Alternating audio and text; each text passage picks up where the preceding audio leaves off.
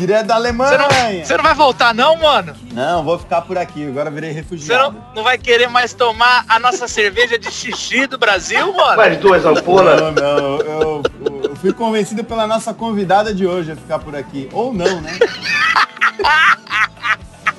Não, Mas eu- olha só, É. mano, nossa, nossa introdução da semana passada foi um sucesso, tanto que eles pediram pra fazermos de novo, você sabe, né? é, Cala a boca! ficou Quanto pior, mais esculachado, melhor, mano.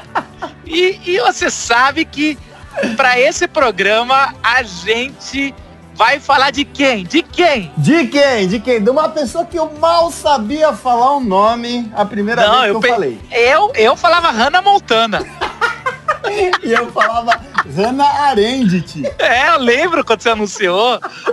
Isso aí, vamos falar de Hannah Arendt. E Olha. Renato, quando a gente foi pôr, a gente fez aquele negócio, né? Ah, a gente precisa botar uma pensadora, mulher, bem Mulher. politicamente correto. Fazer também a nossa parte de, de colocar as mulheres. É interessante isso, cada vez mais, ser inclusivo. E foi uma das melhores locais dos últimos tempos, né? Pô, cara, sério mesmo. Eu tava nessa local aí já tem algum tempinho, né? Olha, eu, eu posso dizer que eu Não mal, foi incrível? Conheço, mal conheço a Hannah Arendt, mas já considero pacas, viu? Não, minha melhor amiga, praticamente. Ah, pô, foi muito, mas sem brincadeira mesmo, foi muito, muito bom, assim, é, o pensamento É. dela, as ideias, e eu não conhecia nada dela, mal sabia do nome, mas o, o professor que teve com a gente, falando sobre ela, inclusive, foi muito legal, É. ele foi muito didático, porque parece que ela é uma pensadora muito difícil de falar, né, assim, os textos dela são difíceis e tudo mais, né? Ela, ela é uma, uma pessoa que é criticada. O pessoal da direita chama ela de esquerdista. Olá, E o pessoal da esquerda chama ela de direitista. Sou Então, ela, ela tá boa, ela tá no caminho. Então a ela gente tá pode, certa, né? pode mudar o nome de local pra Hannah Arendt, então. É isso aí. Eu já gostei dela. Que o professor é, é o Flávio, qual que é o nome dele mesmo? Flávio Macedo Pinheiro, ele é professor formado É. em História, Filosofia, Teologia e Ciências Sociais, hein? E cara, esse cara é dos nossos, sabe por quê? É, O, o cara é formado na USP, o cara já pensa, pô, então é esquerdista. Mas o cara, o cara deu aula no Mackenzie, é professor do. da- Glória a Deus. Ah, então é direitista. Não, então aí você sabe, o cara tá ali no meio também. Então. Tomando porrada E- dos dois lados, né? Tá começando, eu adorei, esse cara tem a cara da Glocal, eu conheci ele em 2006, quando a gente tava organizando Zina 21, Legal. e, e agora foi bom revê-lo, e foi muito bom, e eu acho que eu não estraguei no final, foi, foi legal a aterrissagem que a gente fez lá. Foi, foi, foi Eu espero legal. ter Acho mas que eu não estraguei foi. É que é tão bom, tão bom que fica difícil até falar alguma coisa depois, né? E assim, eu não sei, eu fico com pena que quem só ouve o podcast, porque não é completo. A Glocal é. É. toda uma experiência de música, poesia, teve pintura. Então, assim, foram muitas coisas boas esse dia e a gente vai passar um pedaço. Quem tá aí nos ouvindo vai pegar o conteúdo, que foi muito bom também. E antes É da gente ir pro programa, a gente tem um, um, um pouco de recado, né? São dois recados que são os mesmos de sempre. Primeiro, falando que é para você sempre divulgar a gente, né? A gente tem crescido nos números absurdamente, seu Renato. É mesmo? absurdamente. É que aqui É, na Alemanha mano. ainda não tô conseguindo ver. Não chegou os dados ainda aí. Aqui ainda Você não, sabe. é. A censura não deixou, É, a, a, tá política de tentando internet passar. aqui é bem rígida. É, não, a- aqui também, o nosso governo tá segurando. Mas é o seguinte, e- mas a gente gostaria que você nos ajudasse a divulgar. O podcast se faz no boca a boca ou no Stories a Stories. Tá ouvindo a gente? Tá ouvindo agora, gente? Posta, faz um print e posta, cara, no Stories e marca a Glocal, que assim a gente reposta. Ou manda sugestões, manda sugestões de tema. Forma de você pagar pelo podcast, né? Tá ouvindo É. de graça, na, na moral. Pô, de aí, graça, pô, um conteúdo desse, só mano. conteúdo top. E, e é só repostar, falar pros amigos, botar no grupo da família. Bota alguma coisa boa no sabe? Em vez de dar Manda bom um- dia, Manda um bom dia, logo um link da Glocal, do podcast da Glocal. pô, cara, fala assim, quando, quando aquele seu tio mandar alguma coisa, aqueles fake news do Bolsonaro, manda é, a Arendt na cara dele. Fala assim, Isso. ô tio, ouve isso, vê se você aprende alguma coisa.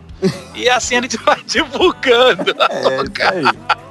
E lembrando que o mês que vem a gente tem Rock no Vale, cara, 23, Isso aí. 24 e 25. rocknovale.com.br. Compra o ingresso agora que é mais barato, né, Renato? É, pois é, aproveita aí, rapaz. Não perde essa oportunidade, não. Não, é única, é única na É vida, única. porque eu nunca mais vou fazer Rock no Vale. Porque dá muito trabalho, Renato. Pelo amor de Deus. Cara, eu não, você vai acredito. me ajudar, Renato? Renato, você vai me ajudar a nunca mais fazer um rock no Vale? Pelo amor de Deus. Se dependesse de mim, não tinha passado do terceiro.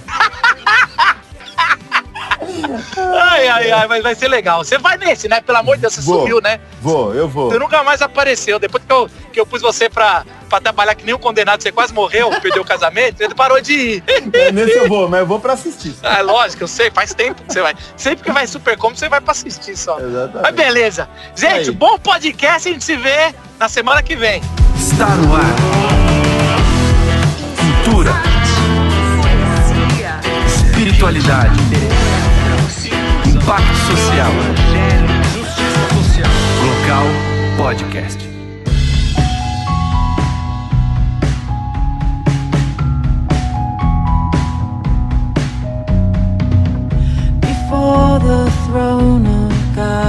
Noite a todos e todas. Na verdade, para mim é um prazer estar aqui, né? A primeira vez que eu estou deste lado.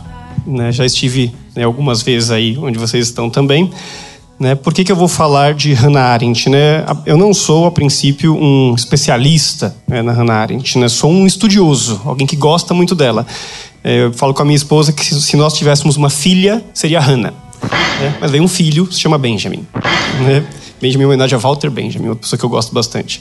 Uma breve introdução. Hannah Arendt ela nasceu em 1906, na Alemanha, de uma família judia, né? uma família que não era religiosa. É, é, mas dizem que Hannah Arendt, ainda muito menina, já chamava a atenção do rabino da comunidade, devido a ser uma menina muito crítica, né, que chamava a atenção ali de todos. E conta-se que Hannah Arendt, ainda na sua adolescência, ela leu a Crítica da Razão Pura do Kant. Eu penso, meu, não consigo nem ler em português, ela leu em alemão. Não entendi, não estou entendendo. Né? Então já mostra aí ela, essa predisposição dela para a filosofia. E de fato, Kant é um autor que vai influenciar muito o pensamento de Hannah Arendt. É, na universidade, né, uma coisa bem conhecida, ela se envolve amorosamente com Heidegger. É, ele, ela tinha 18 anos, ele tinha 35, hum, pequena diferença ali. Né? Ele já era casado, outro detalhe. Né? Mas depois ela acaba também encerrando essa relação e vai resolver estudar em outro curso, outro, melhor, outra, outra universidade. E Hannah Arendt vai ter contato com muitas figuras né, da teologia e da filosofia, figuras como Bultmann, Tillich. É, ela chega a ter aula com alguns deles, né? Ela também tem contato com Adorno e com o Jaspers. O Jasper vai ser o cara que vai orientar o, a tese dela, que é chamado Conceito de Amor em Santo Agostinho.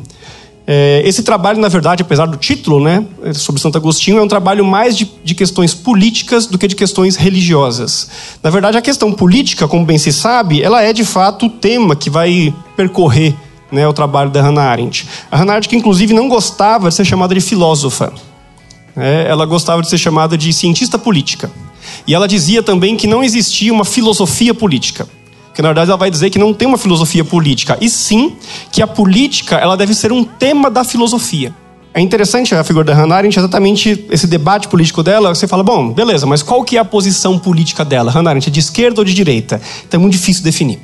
Né? Hannah Arendt praticamente é impossível defini-lo, porque o debate dela é exatamente no campo ali das fundações da questão política. Ela está debatendo ali na fronteira das ideologias. Eu já li autores de direita que chamam Hannah Arendt de esquerda e ele é autor de esquerda, que chama Hannah Arendt de direita. Então, nesse aspecto, ela está debatendo ali bem nessa essa região meio nebulosa, né, bem na fronteira, e ela parte exatamente da tradição greco-romana. Né. Essa tradição ela vai dizer a nossa política ela vem dos gregos e dos romanos. Não dá para nós debatermos política sem entender a nossa tradição. E ela vai debater, por exemplo, a princípio, ela vai dizer que a gente herdou um aspecto que vem desde o Platão. Né? Não dá tempo de gente entrar muito, mas eu imagino que vocês devem ter ouvido falar né, do mito da caverna do Platão, né? história bem conhecida, às vezes como alegoria da caverna. E qual que é a ideia da alegoria da caverna? Que o filósofo é aquele que tem que sair da caverna. Porque, né, para quem gostava de arquivo X, né, a verdade está lá fora. Né? Então você tem que sair da caverna em busca da verdade. Porque dentro da caverna você tem sombra, você tem aparência, você tem aquilo que não é verdade. Você tem o terreno das opiniões, vamos colocar assim. E Platão vai dizer, a verdade, a episteme, né, está fora da caverna. E a Hannah Arendt vai dizer, com isso, Platão, ele rompe com a política. É, e por que, que ele rompe com a política? Provavelmente porque, né, na visão dele, a cidade, por meio da política, matou o filósofo, né? matou seu professor Sócrates. É, mas com isso, Platão ele acaba dizendo que se o que importa para nós é essa verdade que chamaríamos hoje de metafísica, né? verdade universal, a verdade ideal. Portanto, o nosso mundo aqui, ou seja, viver dentro da caverna, perde importância. né? Então, a Hannah Arendt vai dizer que isso gerou aí todo uma, um divórcio entre a filosofia e a política, que quem vai, de certa maneira, restaurar isso daí, ou romper com essa tradição platônica, é a figura do Karl Marx. Né? O que que Marx traz de novo? Né? Marx vai dizer, não está lá fora o debate da política, nós temos que debater a política dentro da caverna, usando ainda essa alegoria, né? Não que Marx use ela, mas na nossa ilustração aqui. Então a gente tem que transformar a realidade de dentro da caverna. Né? Concorda com isso. Né? Então fala, mas ela é marxista então? Não. Né? Por que ela não é marxista? Porque o debate dela é exatamente pensar que nós vamos transformar dentro do que nós podemos, dentro do que é possível. Tem uma frase dela que eu acho fantástica, vou citar para vocês aqui. Ela fala o seguinte, abre aspas. A política é sempre, entre outras coisas, a arte do possível. E as possibilidades dos homens e dos povos são sempre limitadas. Não reconhecer esses limites é um delírio de grandeza, por mais que este se oculte por trás de sentimentos sublimes. Em outras palavras, a política é a arte do possível. Nem sempre é possível fazer muita coisa. Não adianta sonhar com o impossível. Quais são as nossas possibilidades? Interrompemos nossa programação para transmitir o horário eleitoral gratuito obrigatório de propaganda eleitoral. Mas retomemos a figura, a trajetória da Hannah Arendt. Sem sombra de dúvida, né, a questão do nazismo marcou muito a trajetória dela. Ela era judia, alemã, né, quando os nazistas chegam ao poder, ela tem os seus estudos interrompidos e aí ela tem que fugir para a França. Na França, ela acaba conhecendo Walter Benjamin, né, chegam a ter uma amizade ali, e depois a Alemanha invade a França né, já quando começa a Segunda Guerra Mundial. A Hannah Arendt é presa e ela consegue ajuda, ela escapa e ela foge para os Estados Unidos. Nos Estados Unidos ela vai desenvolver suas pesquisas, né? Aí vai exatamente tomar o que ela vai chamar de totalitarismo como o, um evento essencial para se entender o século XX. Ela diz que o totalitarismo é algo inédito. O próprio conceito totalitário até hoje é um conceito problemático. Né? Tem gente que gosta, tem gente que não gosta, fala, ah, esse negócio totalitário, como assim uma coisa total? Que história é essa, né? E a Hannah Arendt, ela escreve o livro, né, Origens do Totalitarismo, que vira uma referência para o debate. Quando eu digo uma referência, não estou dizendo que todo mundo aceita esse livro, né? Até hoje ele é muito criticado, inclusive, né? O conceito totalitarismo era um conceito que estava sendo muito debatido ali e era um conceito em disputa. Né? Vários intelectuais ali estavam usando esse conceito, mesmo antes de Arendt, exatamente para poder é, discutir tanto a experiência da União Soviética quanto a experiência da Alemanha do Hitler. Figuras como Trotsky usa totalitarismo, Gramsci, é, Adorno, e cada um usa de uma forma diferente. Então, Hannah Arendt ela acaba meio que tentando marcar um território ali para definir o que é o fenômeno totalitário. E ela vai dizer, o fenômeno totalitário é inédito. Por que, que ele é inédito? Porque ele não é apenas uma ditadura ele não é apenas uma tirania. Na verdade, na tradição política ocidental, na tradição política greco-romana, a, a, ditadura e a tirania são previstas. Assim, previstas, né? É, já se sabe que existe isso. É, o que, que é a ditadura? Né? A ditadura ela vem da tradição romana e é uma ideia de que é um governo de exceção para uma situação de crise. Né? Para os romanos, a ditadura não é como nós, não é um golpe de Estado, né? alguma coisa do tipo, os militares. Não. A ditadura é: estamos numa situação de crise, o Senado não está dando conta, então nós vamos nomear um ditador. Ele é alguém que vai passar por cima da lei? É. Só que ele está autorizado a fazer isso. E ele tem um prazo. Né? Na história romana tem figuras, às vezes, que até recusavam a ditadura, porque era uma responsabilidade muito grande. É que para nós, a ditadura hoje virou outra coisa. Não entendi, não estou entendendo. E os romanos diziam também que existia a chamada tirania né? Eu diria assim: todo tirano é um ditador, nem todo ditador é um tirano. Né, na visão dos romanos. O que, que é o tirano? O tirano é aquele governo que ele não serve para garantir a liberdade. Ele é um governo que só serve para garantir o interesse do próprio governante. Brasil, Zil, Zil, Zil, então, nesse aspecto, o, tanto o ditador quanto o tirano já são categorias que a política pensa.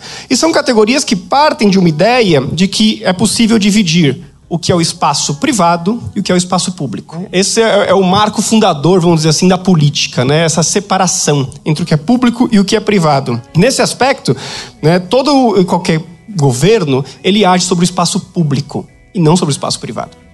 Né? A ideia dos gregos e romanos, né, que o espaço privado é o espaço da desigualdade. Na minha relação com o meu filho, eu sou superior a ele. Por quê? Porque sim. Né? Não há uma democracia lá em casa. É claro que no mundo antigo você ainda tinha a questão do homem e da mulher. Né, que já é uma outra questão, também havia superioridade masculina também no espaço da casa. Só que já o espaço público, ele é o espaço da interação. É o espaço onde a igualdade é instituída. E essa igualdade instituída, ela faz com que possamos agir né, em, igualdade e aí decidir as melhores coisas. Né? Ninguém é melhor do que ninguém, ninguém é maior do que ninguém no espaço público. E o espaço público é aquilo que permite a liberdade. Só há liberdade para Hannah Arendt na política. É curioso que no, na tradição cristã, né, principalmente a partir de Agostinho, a liberdade ela é muito colocada como uma questão espiritual. Mais ou menos uma ideia de assim, de que eu não sou livre porque eu tenho um conflito com a minha vontade. Aquilo que Paulo também já dizia, né? O bem que eu quero eu não faço, o mal que eu quero que eu não quero eu faço. Então nesse aspecto a Hannah Arendt ela fala não, o debate da liberdade, dessa liberdade aí, é a liberdade para fora da caverna, vamos dizer assim.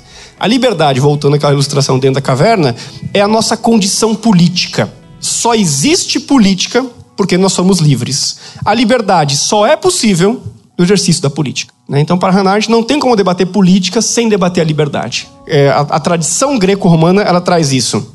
E nesse aspecto, por que, que o totalitarismo ele é novo? Né? Porque ele traz uma visão de terror, que é total, por isso que é totalitário, né?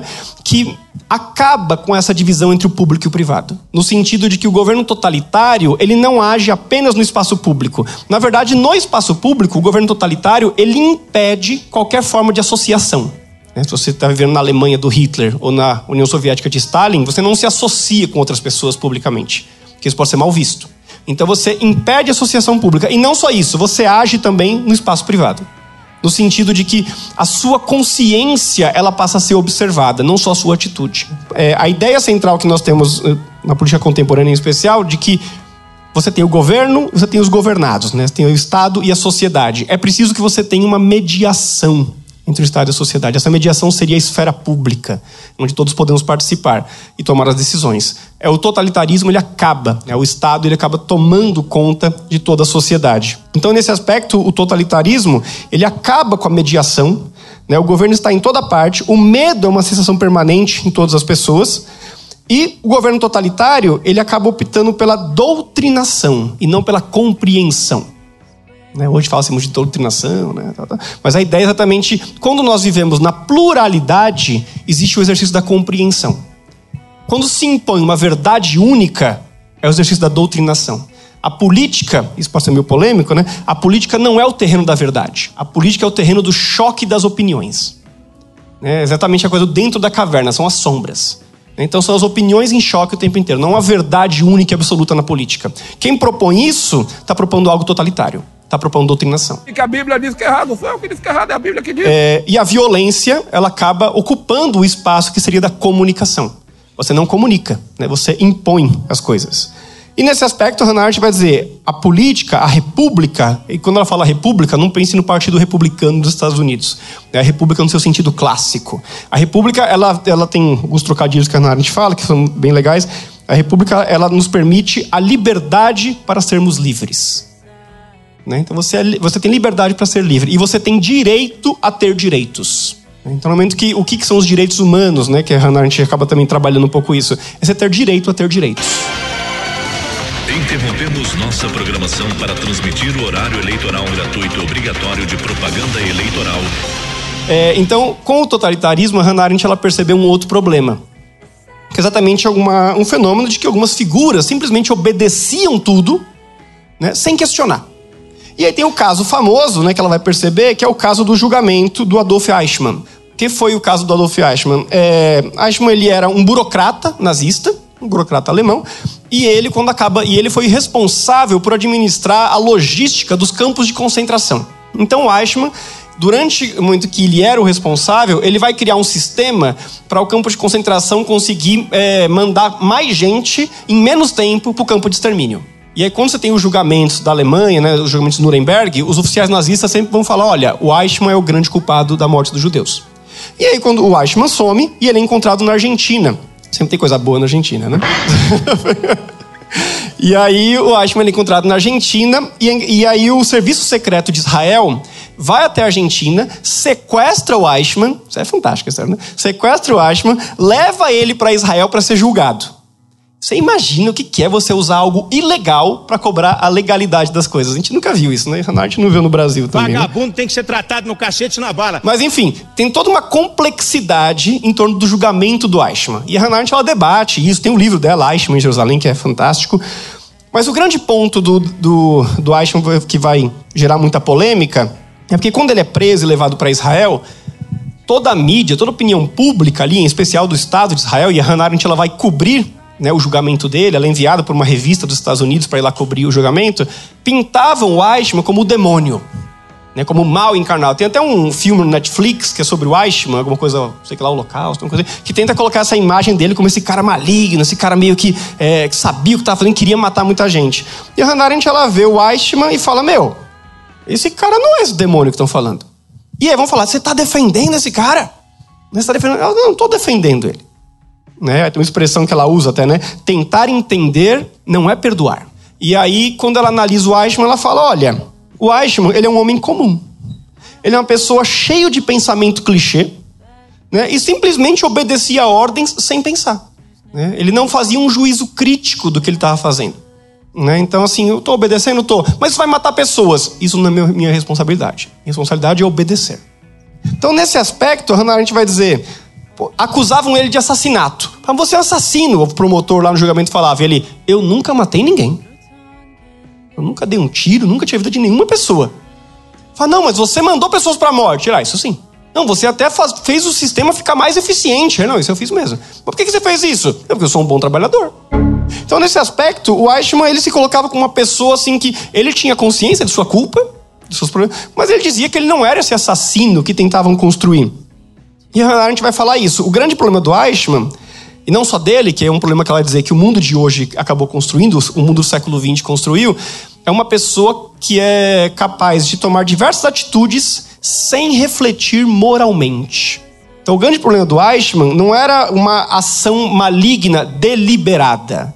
É o que ela vai chamar de banalidade do mal. né? O que é a banalidade do mal? É a capacidade que algumas pessoas têm de cometer atos atrozes sem nem refletir sobre isso. E chega à noite, essa pessoa vai dormir tranquilamente no seu travesseiro porque ela não fez nada de errado. Então, Eichmann, na verdade, ela fala, ele é, ele é um representante de um fenômeno que está acontecendo. Então, e óbvio que vão falar que ela tentou defender ele, vão, ela sendo judia ainda, né? Enfim, existe o filme Hannah Arendt, quem não viu, veja, é maravilhoso o filme. Hannah Arendt é maravilhosa, né? Mas o filme é muito bom também. E o filme ele trata exatamente o julgamento do Eichmann, né? É o meio que o, o, o eixo do filme. Interrompemos nossa programação para transmitir o horário eleitoral gratuito obrigatório de propaganda eleitoral. Último ponto, quero falar bem rapidinho sobre a questão da autoridade. Porque você fala, poxa, mas afinal, o Eichmann, ele estava certo ou errado em obedecer? Né? A autoridade não é para isso? Não é para ser obedecida?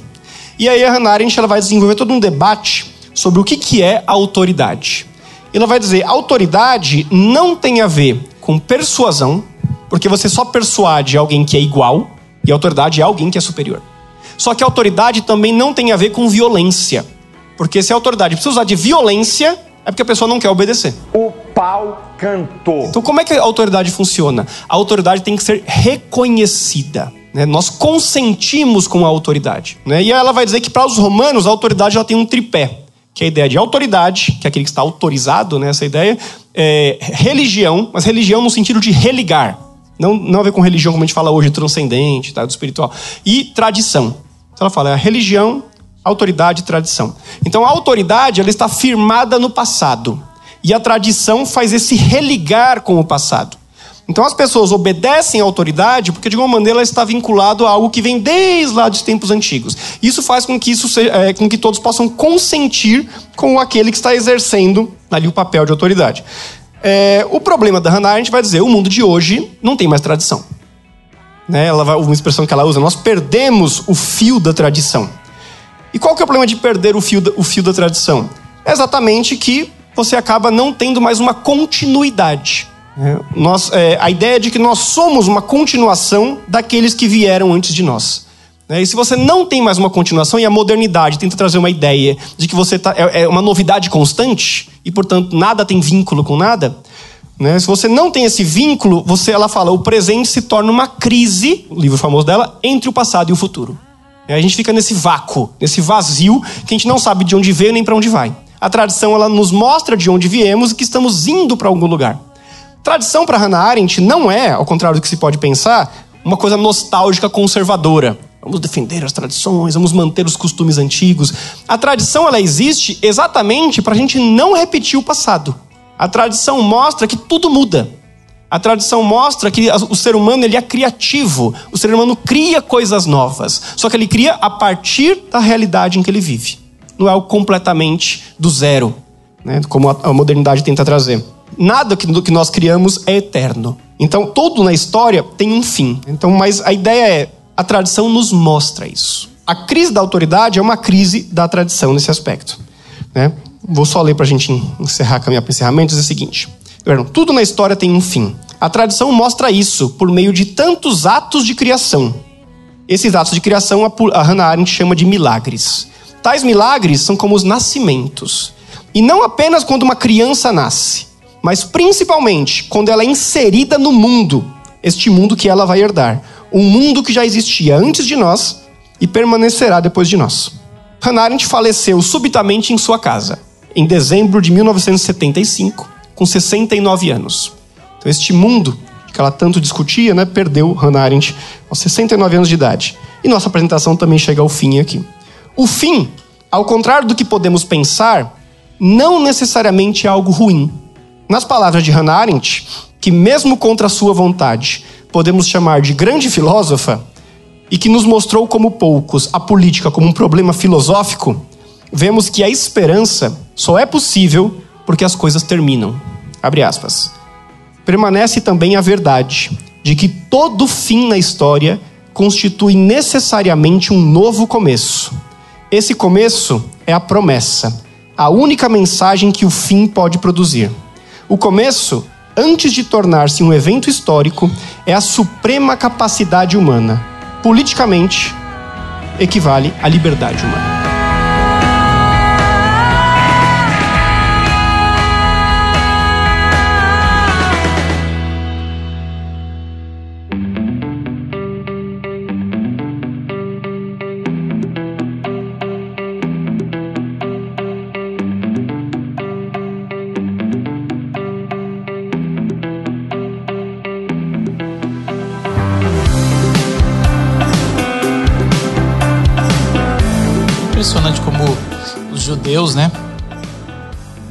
As mulheres e quem lê Agostinho consegue falar, né?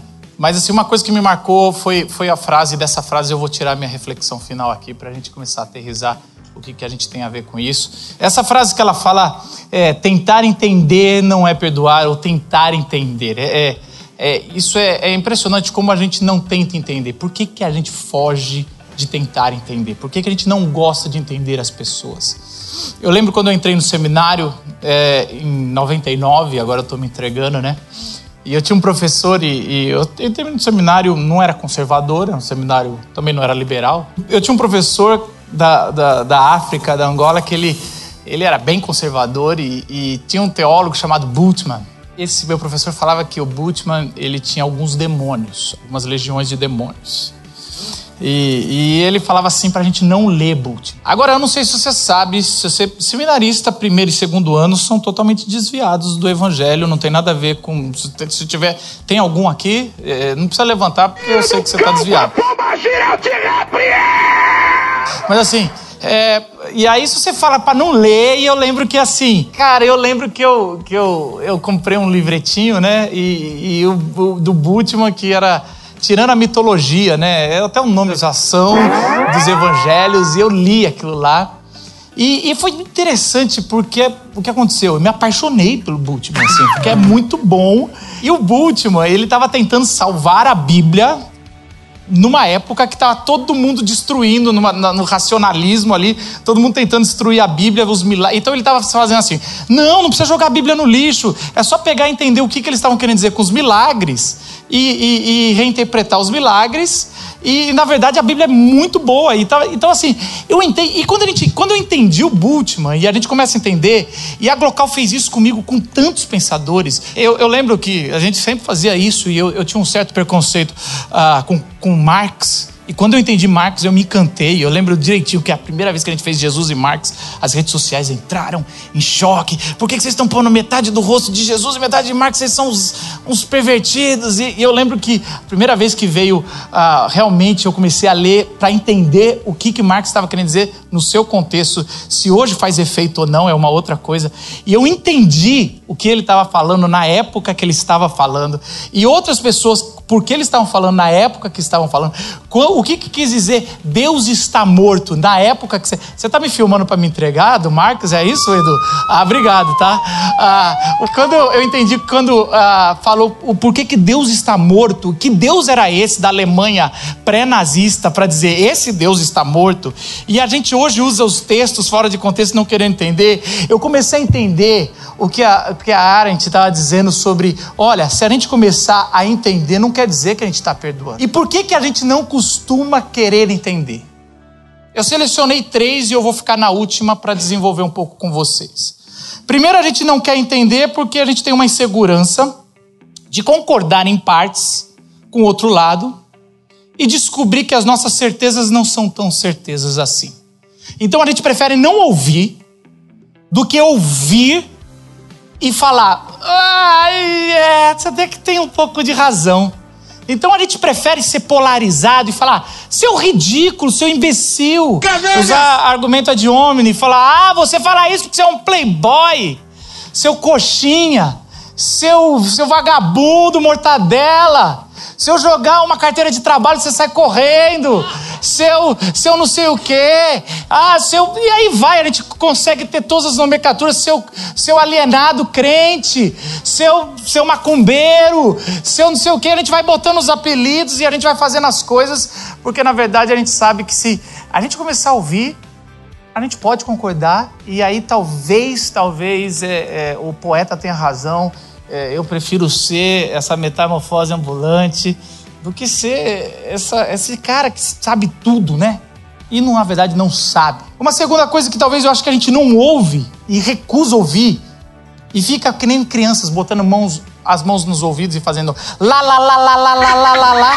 Essa é ótima, gente, adorei. É porque a gente não considera o outro gente como a gente.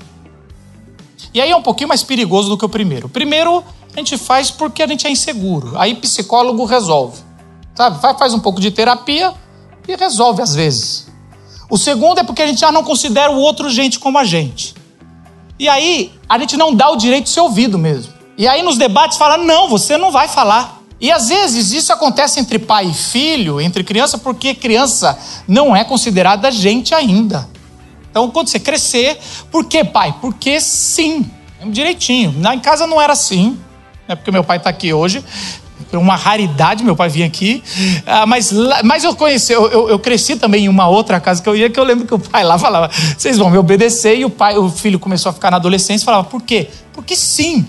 E eu lembro que ele falava: na minha época não tinha nem porquê. Eu lembro do professor Tiburcio, era isso? E ele, ele sempre falava: porque sim não é resposta.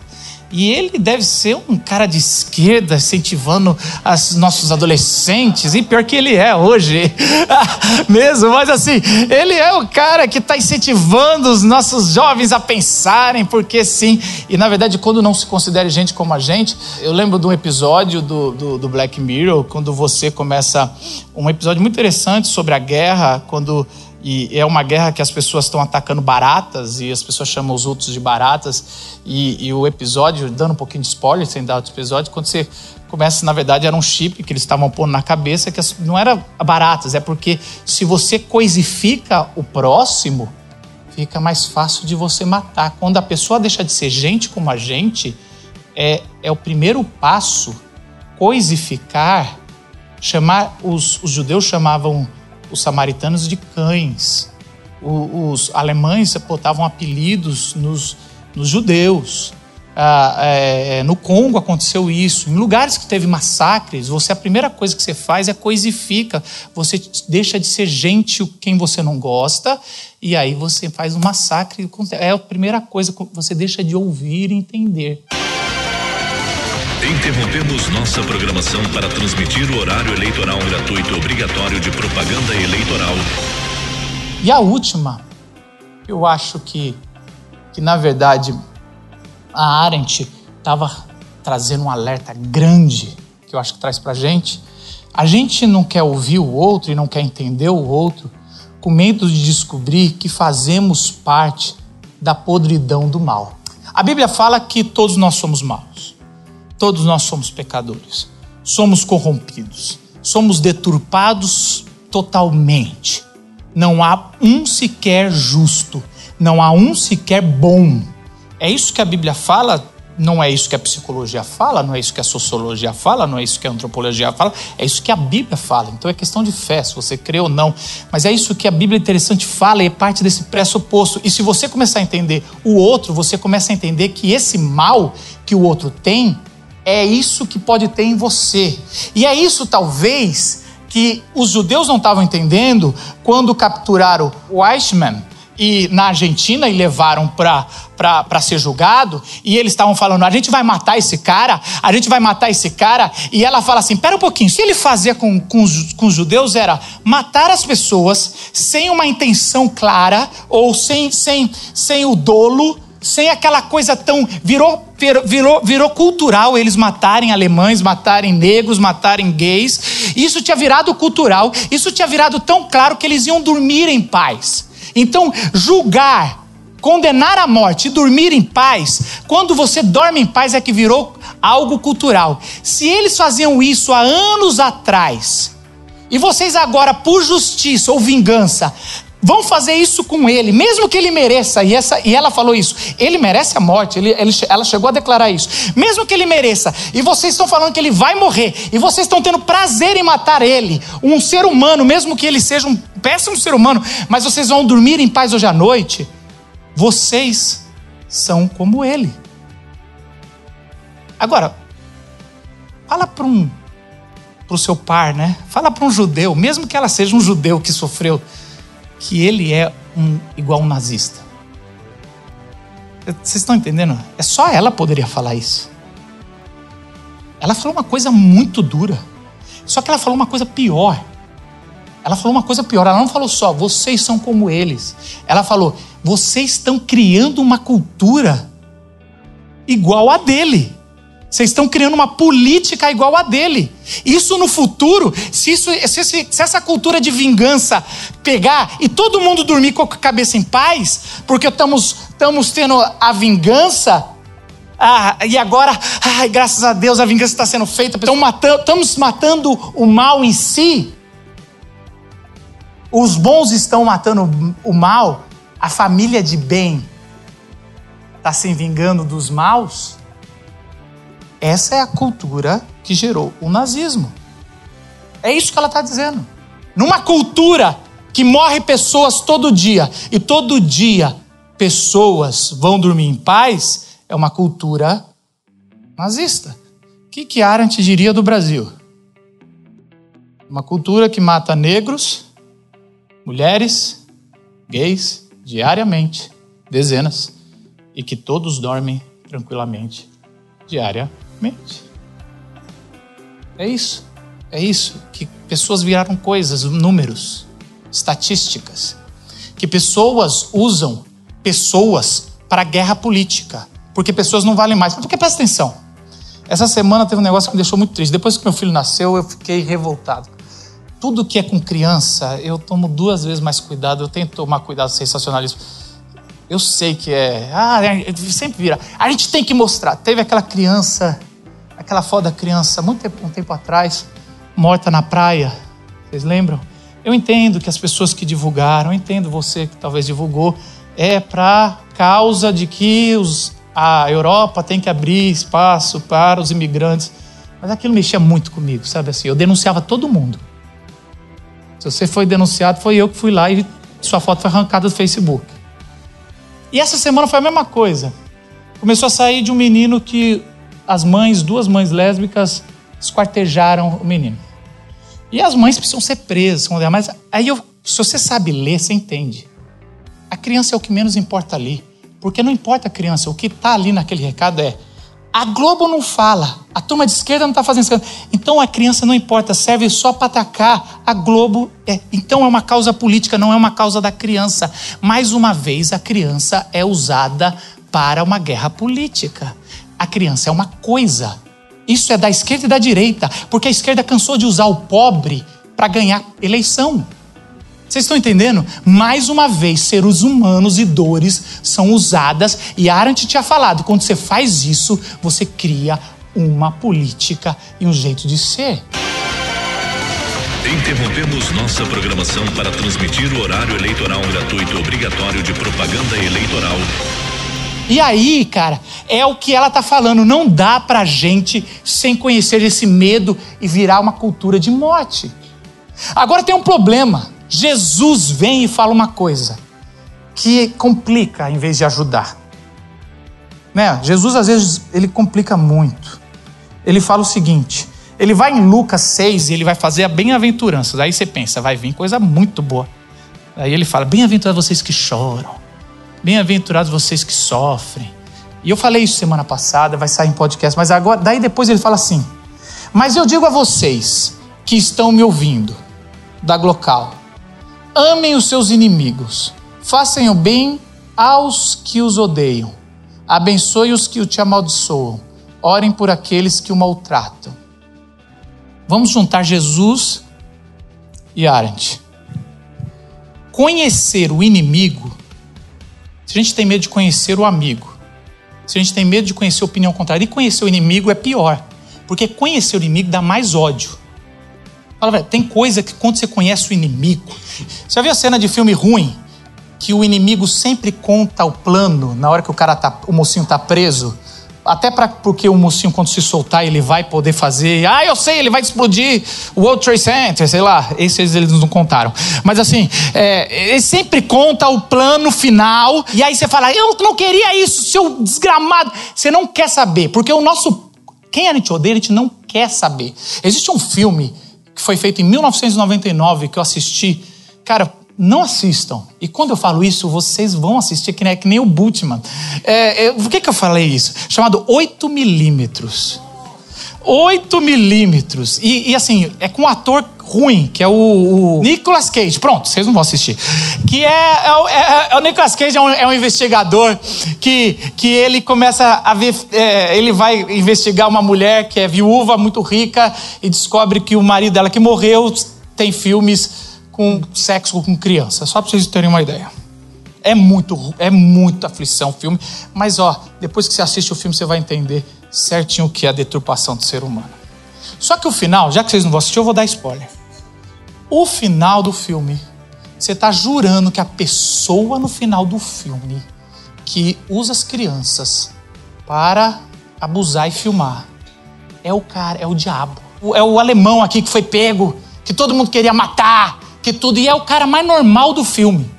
É aquele cara que é o normal e, e tira a máscara assim, e o, o, detetive fica assim, não acredito que é você. E aí ele fala, você esperava que era o, o mauzão? É o diabo. Sou eu, normal, o cara normal, o cara que compra pão na esquina com você, o cara que vai. E aquilo deixa a gente depressivo. Porque, na verdade, esse é o. Vocês estão entendendo? Porque essa é a graça do filme que vai trazer o mal. Quando você conhece o seu inimigo, você não tem mais compaixão. Você tem mais ódio. Por isso que se você ouve Jesus falando, ame os seus inimigos e conhece os seus inimigos, se for que nem o Antigo Testamento, se for uma lei, você odeia mais ainda. Então vira mais um peso. Então Jesus não te ajuda e não me ajuda. A lei de Jesus, ame os seus inimigos, vira um peso maior. Então você fica mais angustiado quando você ouve Jesus. Jesus atrapalha a gente. A não ser por uma coisa. Se você entender que Jesus te conhece sendo quem você é, e a Bíblia fala que você hoje é inimigo de Deus. E Ele te conhece, sendo muito pior do que qualquer inimigo seu é para você. E nós, a Bíblia fala que nós somos inimigos de Deus porque nós escolhemos o pecado. E Jesus nos escolhendo no fundo da nossa alma, e a Bíblia fala que Ele nos conhece mais do que a gente mesmo nos conhece. E Ele nos conhecendo, não tem como nos perdoar. Ele não pode simplesmente tocar na nossa, no nosso coração e falar, te perdoo, porque é muita coisa ruim que a gente tem. A não ser que ele morrer na cruz por nós. Ele não só nos conhece, mas ele deu a vida dele por mim e por você. Para que ao ser ressuscitado, ele perdoou. Porque ele na cruz morre tudo que é ruim de você em mim naquela cruz. E ao ressuscitar, uma nova pessoa surge entre eu e você. Um novo ser. O único que conhece o inimigo e ama o inimigo. O único que toma um tapa na cara e fala perdoa é Jesus. Em Jesus, nós podemos amar. E a única forma, presta atenção, que eu vou acabar aqui encerrar. A única forma de conhecer o outro e perdoar é em Cristo. Porque Ele perdoa primeiro. Porque Deus amou o mundo, as nações, de tal maneira que deu seu único filho para que todo aquele que nele crê não morra, mas tenha vida eterna. Amar. Amar. A única política possível para mim e para você é o amor. É o amor. Então, toda vez que a gente vai discutir política, a gente vai cair nisso. O nosso, a gente julga, a gente condena e a gente dorme em paz. O nosso coração é pecador. Mas existe alguém que não dormiu em paz, porque decidiu morrer na cruz por mim e por você. Entenda isso. Não só entenda isso, deixe seu coração queimar por isso. Uma vez que você viveu isso, isso enche o nosso coração e para isso que nós fazemos local. Não importa sua religião, aqui a gente tem espírita, a gente conversa, a gente tem católicos, temos evangélicos, temos até evangélico aqui, olha só que coisa bacana. Deus é gracioso. A gente tem de tudo e não é isso, não é religião, senão a gente volta. Mas eu, eu, eu fiquei tão feliz de ver que essa pensadora Arendt, ela leu Agostinho. E no texto que, que o professor trouxe, estava assim: ela não foi influenciada nos textos pelo Agostinho. Falei, como não? Se o evangelho está aí do amor. Ela, só, alguém, só um judeu, só uma judia que foi presa no, na, na guerra, na Segunda Guerra, foi expulsa da sua família, interrompeu seus estudos, foi, foi pode olhar para um, um carrasco, depois de anos, em 1963, olhar e falar: Eu quero, coitado, ele é, coitado, gente. Ele é apenas um cara que seguindo ordem.